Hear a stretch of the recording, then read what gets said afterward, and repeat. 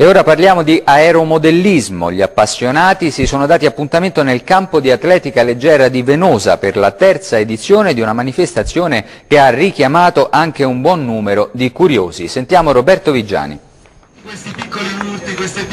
Sono arrivati dalla Campania, dalla Puglia e naturalmente dalla Basilicata per un appuntamento giunto alla terza edizione, riproposto dopo 26 anni di assenza. La manifestazione è stata organizzata dal club Mario De Bernardi in collaborazione con Mormic e Avis.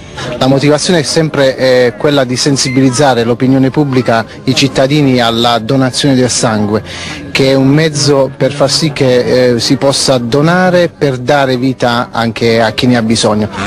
Una ventina gli appassionati di questi autentici gioiellini che hanno sfrecciato nel cielo di Venosa. L'aeromodellismo è qualcosa più di un hobby, è considerato un vero e proprio sport. È uno sport perché comunque si vive con altre persone, si cresce, si conoscono persone nuove, si ha modo di, di migliorare e di esprimersi in assoluta libertà perché volando uno cerca di esprimere il proprio spirito libero. Aerei ed elicotteri con motori elettrici a scoppio, grandi, piccoli, capaci di autentiche acrobazie grazie all'abilità dei piloti, modellini davvero per tutti i gusti ma soprattutto per tutte le tasche.